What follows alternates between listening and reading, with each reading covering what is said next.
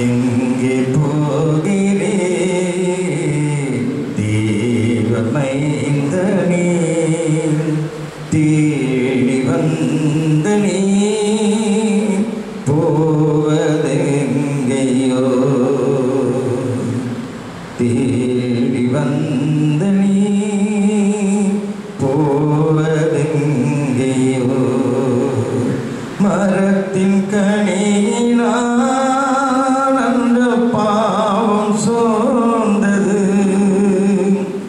மரத்தின் சிலுவையில்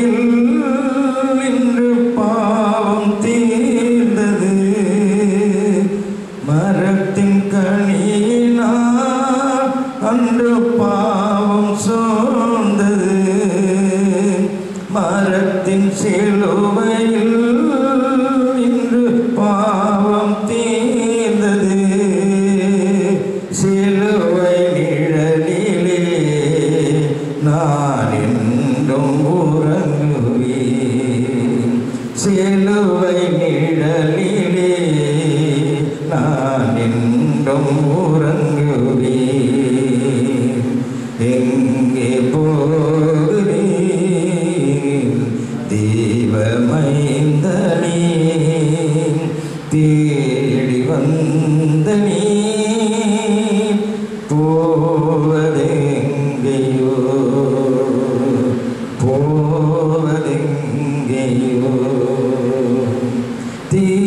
தீய சிந்தனை நானும் செய்வதா உன் சீர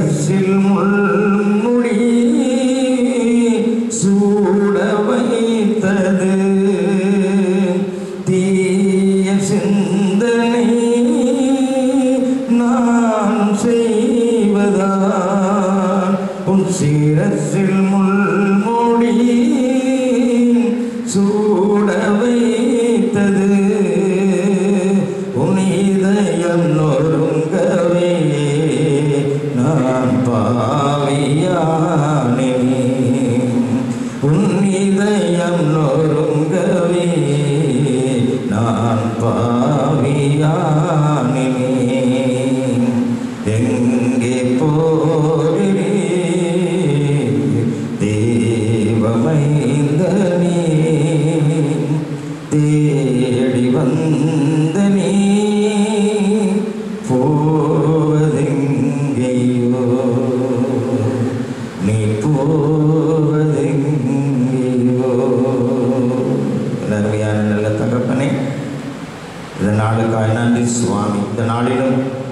சிலுவையின் பாடுகளை நாங்கள் தியானிக்கும்படி கத்தரங்கள் கொடுத்த இந்த நாளுக்காய் மக்கு சோத்திரம் இந்த செய்தியை கேட்கும்படி பிள்ளைகளுக்கு நீ கிருமை கூர்ந்து மக்கு சோத்திரம் ஆண்டவரே. இந்த தெய்வனுடைய சத்தம் உடைய பாடுகள் உன் சிலுவையின் நினைவுகள் எங்கள் உள்ளத்தில் மறுபடியும் நினைவு கூறும்படி கத்தர் கிருபை செய்து உமக்கு சோத்திரம் ஆண்டவரை. இதை கேட்கிற மக்கள் யாவரும் பாக்கியவான்களாய் இருப்பார்களாகி கத்தருடைய கரத்தில் இந்த நேரத்தை நான் படைக்கிறேன் சுவாமி. இயேசுவின் நாமத்தில் வேண்டிக் கொள்ளுகிறோம் பிதாவே. ஆமேன்.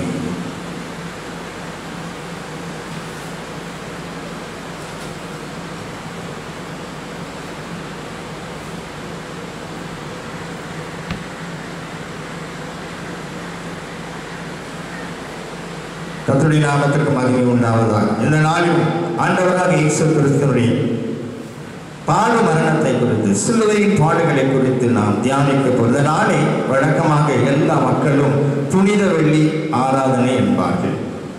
இயேசு கிறிஸ்து சிலுவையிலே நமக்காகப்பட்ட பாடுகளை நினைவு கூறும்படியான நாளை புனித வெள்ளி என்று தேவனுடைய வார்த்தைகளை இந்த இடத்துல பயன்படுத்துகிறார்கள். இயேசு கிறிஸ்து இருள் சூழ்ந்த உலகத்தில் வாழ்ந்திருந்தும் மக்களோடு மக்களோடு வாழ்ந்தும் குறித்த காலத்தில் தம் ஜனத்தை ஆண்டவர் தேவனுடைய சமூகத்தில் சேர்க்க வேண்டும் என்ற ஒரு ஒரு தியாகம் தன்னிலே மனதுக்குள்ளே அவருக்குள்ளே இருந்து கொண்டே இருந்தது. ஏற்ற காலத்தில் அதை நிறைவேற்றும்படி கத்தன் அதற்காக காத்திருந்தார்.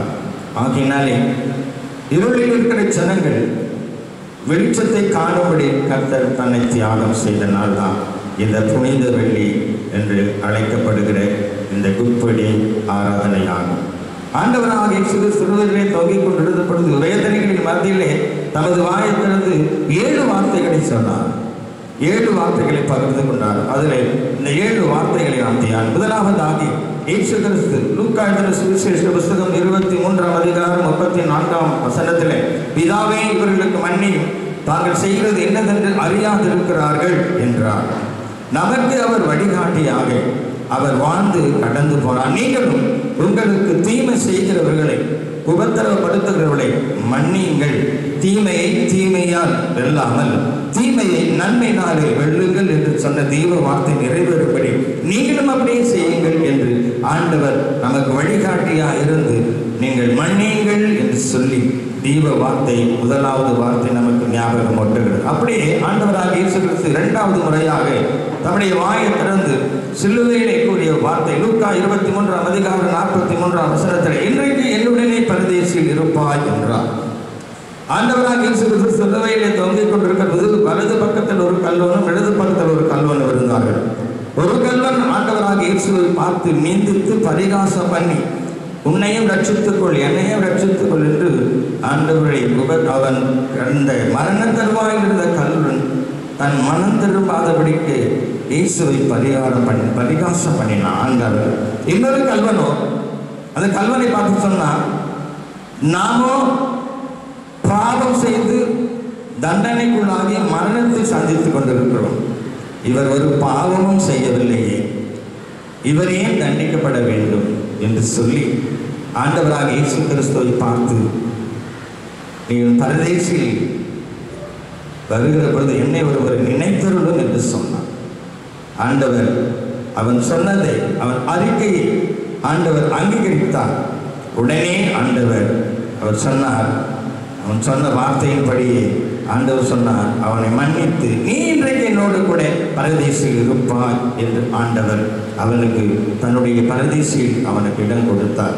அருமையான தேவ ஜனமே நாமும் நம்முடைய வாழ்க்கையிலே கர்த்தருடைய வார்த்தையை கேட்டு தெய்வ சமத்தில் நம்ம ஒரு முறை ஆண்டவர் கடத்தில் நம்மை படைப்போமானால் கர்த்தர் நம்மையும் இந்த பரதேசிக்குரியவர்களாய் மாற்ற வல்லவராய் இருக்கிறார் என்று நாம் பார்க்கிறோம்.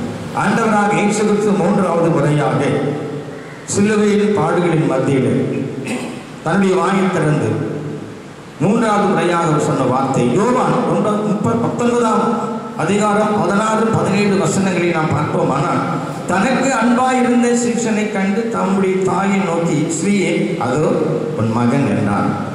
பின்பு அந்த சீசனை நோக்கி அதோ உன் தாய் என்றார். இங்கே இயேசு கிறிஸ்து மனிதர்களோடு மனிதர்களாய் குடும்பத்தோடு வாழ்ந்து தன் கடைசி காலத்தை முடிக்கிற நாட்களிலே அந்த தாய் தன்னோடு கூட வாழ்ந்த தாய்க்கு ஒரு பாதுகாப்பு தேவை என்று ஆண்டவர் அறிந்து அவர் கடந்து போனாலும் அந்த தாய்க்கு ஒரு பாதுகாப்பு கொடுத்தார். நமக்கும் அவர் அறிவுறுத்துகிறார். நீங்களும் என்னிடத்தில் இருப்பீர்களேயானால் என்னோடு கூட இருப்பீர்களானால் நானும் உங்களுக்கு பாதுகாப்பு கொடுத்து ஒரு தெய்வமாய் உங்களோட தொடர்ந்து உங்களை நடத்துவேன் என்று சொல்லி ஆண்டவர் இந்த சிலுவையிலே நமக்கு ஞாபகப்படுத்தி கடந்து போன வார்த்தை தான் இந்த மூன்றாவது வார்த்தை. ஆண்டவராக இயேசு கிறிஸ்து இந்த சிலுவையிலே நான்காவது முறையாக தம்முடைய வாயை திறந்து கூறிய வார்த்தை மத்திய இருபத்தி ஏழாம் அதிகாரம் நாற்பத்தி ஆறாம் வசனத்தை என் தேவனே என் தேவனே ஏனெனே கைவிட்டீர்?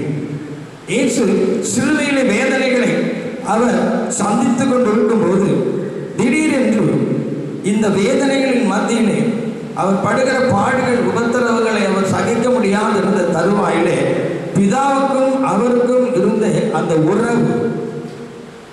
திடீரென்று இடைவெளி விட்டது. தொடர்பில்லாமல் போனது.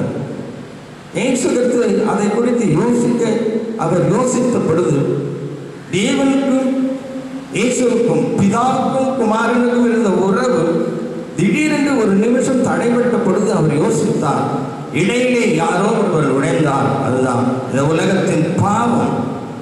பிதாவுக்கும் தன் குமாருக்கும் தடையா இருந்தது. உடனே இயேசு கிறிஸ்து இதை உணர்ந்தவராய். என் தன்னுடைய தகப்பனை நோக்கி பிதாவே பிதாவே ஏன் என்னை கைவிட்டீர்? என்று அவர் கூப்பிட்டு சத்தமிட்டு கூப்பிட்ட பொழுது மறுபடியும் பிதாவுடைய தொடர்பு இயேசு கிறிஸ்துவுக்கு வந்தது. உண்மையான தேவனுடைய பிள்ளைகள் இந்த நாளிலும் ஆண்டவராக இயேசு கிறிஸ்து இந்த அருமையான இந்த வேளையிலே அவர் இந்த வார்த்தையை சொன்ன நோக்கம் இயேசுவுக்கும் பிதாவுக்கும் இருக்கிற உறவு. ஒரு நிமிஷம் தடைப்பட்ட பொழுது அவர் பட்ட உபத்திர அவர் வேதனை அவரால் தாங்க முடியல ஆனாலும் உடனே அவர் ஆண்டவரை நோக்கி குறிப்பிட்டார் நாம் எத்தனையோ மாதங்கள் ஆண்டவரை விட்டு விலகி போகிறோம். சூழ்நிலை நிமித்தமாய் நாம் எல்லாவற்றையும் மறந்து போகிறோம். ஆராதனையை மறக்கிறோம். வேத வாசிப்பை மறக்கிறோம். சபத்தை மறக்கிறோம். தேவனுடைய ஆராதனைகளை மறக்கிறோம். நிகழ்ச்சிகளை மறக்கிறோம். எல்லாவற்றையும் மறந்து சாதாரண மனிதர்களாய் வாழ்ந்து கொண்டிருக்கிறோம். ஆனால் இயேசு கிறிஸ்துவோ தன் பிதாவினுடைய ஒரு நிமிடம் அன்றுடைய உறவு இல்லாத போது அவர் பட்ட அந்த வேதனை பார்த்து அவர் வேதனைப்பட்டு மறுபடியும் அந்த தெய்வனுடைய சத்தம் அவருடைய செவிகளை கேட்கும்படி கர்த்தர் கிருபை செய்தார். இதுதான் பிதாவுக்கும் குமாரனுக்கும் இருந்த உறவு. அந்த உறவை தான் இன்றைக்கு உண்டாக்கி கொடுக்கும்படி தேவன் இந்த சிலுவையிலே தன்னுடைய பாடுகளை சகித்து கொண்டு வருகிறார் நமக்கும் நம்முடைய கிறிஸ்துவுக்கும் நம்முடைய பிதாவுக்கும் இருக்கிற உறவு நீடிக்க வேண்டும் என்பதுதான் ஆண்டவருடைய இந்த சிலுவையின் பாடுகளுடைய வார்த்தையாக இருக்கிறது அப்படியே ஆண்டவராக இயேசு கிறிஸ்து ஐந்தாம் முறையாக சிலுவையிலே அவர் நமக்காக சொன்ன ஐந்தாம் வார்த்தை கொடுத்து நாம் தியானிப்போம். யோவான் பத்தொன்பதாம் அதிகாரம் இருபத்தி எட்டாம் வசனத்தில் அதன் பின்பு எல்லாம் முடிந்தது என்று சொல்லி இயேசு அறிந்து வேத வார்த்தையும் நிறைவேறத்தக்கதாக தாகமாக இருக்கிறேன் என்றார். கடின உழைப்பினாலே தாகம் வரும் டயர்டாகும் எனர்ஜி போயிடும் கொஞ்சம் தாகம் தீர்க்க தண்ணீர் வேண்டும். ஆனால் ஆண்டவர் சொன்ன வார்த்தை தாகமா இருக்கிறேன் என்றார்.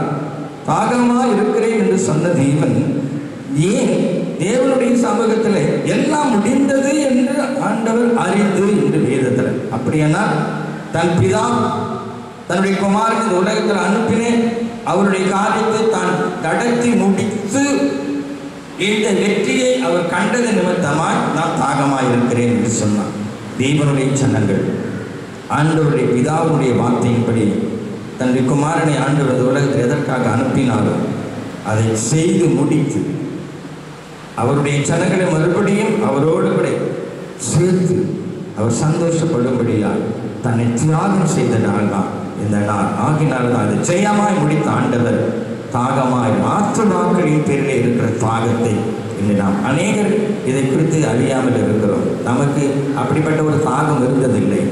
ஆத்துமாக்களை நாம் துன்புறுத்துகிறது. தெய்வ சமூகத்தை விட்டு கடந்து போகும்படி செய்கிறோம். ஒருவராகிலும் அந்த ஆத்மாவாக கவலைப்படுகிறதில்லை துன்பப்படுகிறதில்லை. ஆனால் தெய்வன் ஒரு ஆத்மா கடந்து போனாலும் அவர் வேதனைப்பட்டு அவரை மறுபடியும் கொண்டு தெய்வ சமத்தில் சேர்க்கிறவராய் இருக்கிறார் என்பதற்கு இது அடையாளமாக இருக்கிறது ஆண்டவர் மறுபடியும் ஆகி தேவனுடைய வார்த்தையை நாம் பார்க்கிறோம். ஆண்டவராக இயேசு கிறிஸ்து மறுபடியும் ஆறாவது முறையாக அந்த சிலுவையின் பாடுகளின் மத்தியிலே தேவன் சொன்ன வார்த்தை யோவான் பத்தொன்பதாம் அதிகாரம் முப்பதாம் வசனத்தில் இயேசு காடியை வாங்கின பின்பு முடிந்தது என்று சொல்லி தலையை சாய்த்து ஆவியை விட்டான் வார்த்தை முடிந்தது. முடிவு என்கிறது. எந்த ஒரு மனுஷனுடைய வாழ்க்கையிலும் உலகத்தில் இதுவரையில் நாம் கேட்டது கிடையாது. எந்த ஒரு மனுஷனும் உலகத்தில் பல கோடி மக்கள் மறிக்கிறார்கள். ஆனாலும் மரணம் வருகிற பொழுது எந்த ஒரு மனுஷனை நான் எல்லாவற்றையும் முடித்து கடந்து போனேன் என்று யாரும் சொன்னதே கிடையாது. காரணம் மனுஷனுடைய முடிவுகள் முடிவில்லாமல் கடந்து போகிறது. முடிவே இல்லாமல் உலக பிரகாரமாக வாழ்ந்து உலகத்தின் சம்பத்து குறித்த கவலை மக்களை குறித்த கவலை மனைவியை குறித்த கவலை புருஷனை குறித்த கவலை வேதனையோடு எங்களை முற்று பெறாமல் மனுஷன் கடந்து போய் கொண்டிருக்கிறான். ஆனால் நம்முடைய ஆண்டவராக இயேசு கிறிஸ்து எல்லாவற்றிற்கும் மேலாகி அவர் இந்த வார்த்தையை சொன்னார். அவரால் ஒருவரால் மாத்திரமே இது சொல்ல முடிந்தது. முடிந்தது என்று சொல்லி இந்த ஆண்டவர் தன்னுடைய ஆவியை விட்டார் என்று நாம் முடிந்தது. என்ன முடிந்தது என்று பார்க்கிறோம். பிதா தனக்கு கொடுத்த வேலையை நான் செய்து முடித்தேன். பிதாவாகிய தேவன் என அனுப்பின நோக்கத்தை நான் செய்து முடித்தேன். பிதாவாகிய தேவன் இந்த உலகத்திலே நான் அனுப்பினேன். அவருடைய காரியத்தை நான் ஜெயமாய் முடித்து அவர் விரும்புகிறபடியே நான் நடத்தி முடித்தேன் என்று சொல்லி ஜெய கம்பீரத்தோடு முடிந்தது என்று சொன்னார். நம்முடைய வாழ்க்கையிலே ஒருவரும் இந்த வார்த்தையை உச்சரிக்காமலேயே கடந்து போய் கொண்டிருக்கிறார்கள். காரணம் அவர்கள் தேவனோடு கூட சஞ்சரித்துக் கொண்டிருப்பார்கள் ஆனால் எல்லாவற்றையும் முடித்து போகிறேன் என்று சொல்லுவார்கள். இதுவரையும் அப்படிப்பட்டவர்களை தேடிக்கொண்டிருந்தாலும் கிடைக்காமலே மக்கள் வாழ்ந்து போகிறார்கள். அப்படி ஆண்டவராக இயேசு கிறிஸ்து இந்த உலகத்தில் வாழ்ந்து போகிற ஒவ்வொரு நாட்களிலும் தேவனுடைய வார்த்தை முடிந்தது என்ற வார்த்தை தேவன் தன்மை மாத்திரமே அந்த இடத்துல முற்று பெறுகிறவராய் நாம் முற்றும் முடிந்தவராய் செயகம்பீரத்தோட முடிந்தது என்று சொல்லி தன் ஆவியை விட்டார் என்று நாம் பார்க்கிறோம். அடுத்தபடியாக ஆண்டவர் ஏழாவது முறையாக சிலுவையிலே தன்னுடைய பாடுகளின் மத்தியில் உபத்திரவத்தின் மத்தியிலே ஏழாவது முறையாக ஆண்டவர் சிலுவையிலே கூறிய வார்த்தை லூக்கா இருபத்தி மூன்றாம் அதிகாரம் நாற்பத்தி ஆறாம் வருஷத்தை பிதாவை உம்முடைய கைகளில் என் ஆவியை ஒப்புவிக்கிறேன் என்று மகாசத்தமாக கூப்பிட்டு சொன்னார். இப்படி சொல்லி ஜீவனை விட்டார் என்று நாம் பார்க்கிறோம். எந்த மனிதனும் தேவன் தனக்கு கொடுத்த ஒரு ஜீவன் ஒரு ஆவி நமக்குள்ள இருக்கிறது என்பதை யாரும் உணர்கிறதே இல்லை. ஆண்டவர் கொடுத்த அந்த ஜீவனால் தான் நாம் நடமாடி கொண்டிருக்கிறோம் வாழ்ந்து கொண்டிருக்கிறோம். தேவன் கொடுத்த ஆவி தான் நம்மை நடமாடும்படி செய்கிறது என்று ஒரு மனிதனும் இதுவரையிலும் யோசிக்கிறதே இல்லை சிந்திக்கிறதே இல்லை. ஏனென்று சொன்னால் அவர்கள் பிறக்கிறார்கள் வாழ்ந்து போகிறார்கள் கடந்து போகிறார்கள். ஆனால் அவர்களுக்குள்ளே இருக்கிற அந்த ஆவி எப்படி வந்தது யாரால் கொடுக்கப்பட்டது யார் அதை கொடுத்தார்கள் உணராமலேயே வாழ்ந்து போகிறார்கள். அருமையான தெய்வ பிள்ளைகளே நம்முடைய ஆண்டவராக இயேசு கிறிஸ்து இதை நமக்கு தெளிவுபடுத்துகிறார். இந்த ஆவி தேவனால் நமக்கு கொடுக்கப்பட்டது. இந்த ஆவி தேவனிடத்திலிருந்து நமக்கு கொடுக்கப்பட்டது. முதல் மனுஷனை ஆண்டவர் உண்டாக்கின பொழுது தன்னுடைய ஜீவனை அவனுக்கு கொடுத்தார். அதுதான் இன்று வரை தொடர் அந்த ஜீவன். அதைத்தான் பிரசங்கி சொல்லுகிறார் ஆவி தன்னை தந்த தேவனிடத்தில் திரும்புவதற்கு முன்னே உன் சிருஷ்டிகளை நினை என்று வேதம் சொல்லுகிறது. ஒருவரும் அதை நினைக்கிறது. ஆனால் நம்முடைய ஆண்டவராக இயேசு கிறிஸ்துவோ எல்லாவற்றையும் செய்து முடித்தவராய் எல்லாவற்றையும் செய்து முடித்தவராய் தேவனுடைய சமூகத்தில் எல்லாவற்றையும் நான் செய்து முடித்து கடந்து போகிறேன் என்று சொல்லி கடைசியாய் தேவன் தனக்கு கொடுத்த மனுஷிகமாய் தனக்கு கொடுத்த அந்த ஆவியை மறுபடியும் தேவனிடத்திலேயே கொடுத்து அவர் கடந்து போகிறதை நாம் பார்க்கிறோம். ஆண்டவருடைய வார்த்தையை நான் அந்த இடத்துல பார்க்கிறோம். பிதாவே உடைய கைகளில் என் ஆவியை ஒப்புவிக்கிறேன். கொடுத்தவரிடத்திலே ஒப்பு கொடுக்கிற ஒரே மனிதனாய் வாழ்ந்தவர் நம்முடைய ஆண்டவராக இயேசு. இதுவரையில் எந்த ஒரு மனுஷனும் அப்படிப்பட்ட வார்த்தையை சொல்லி கடந்து போனதில் அருமையான தெய்வ ஜனமே இந்த நாட்டில் தெய்வம் நம்மோடு கிடையாது இந்த ஏழு வார்த்தைகளை குறித்து தெளிவாய் நம்மோடு பேசி கொண்டிருக்கிறார் தெளிவுள்ளவர்களாய் நாம் இன்னும் அதிகமாய் அறிந்து கொள்ள வேண்டுமானால் வேதத்தை கையில் எடுங்க வேதத்தை எடுத்து தியானித்து பாருங்கள். ஒவ்வொரு வார்த்தைக்கும் ஒரு பதில் உங்களுக்கு கிடைக்கும். கத்தவங்களை அப்படி நடத்துவாராக. ஆமே என் ஆத்மாவே கத்தரை சோதரி என் விடுவுள்ள பரிசுத்த நாமத்தை சோதரி என் ஆத்மாவே கத்தரை சோதரி கத்தர் செய்த சகல உபகாரங்களை மறவாதே. ஆமே பிதா குமாரன் பரிசுத்தாவின் நடத்துதல் சமாதானம் ஐக்கியம் உங்கள் அனைவரோடு கூட இன்றும் என்றும் சகல நாட்களிலும் இருப்பதாக. ஆமேன். அலிலுயா ஆமேன்.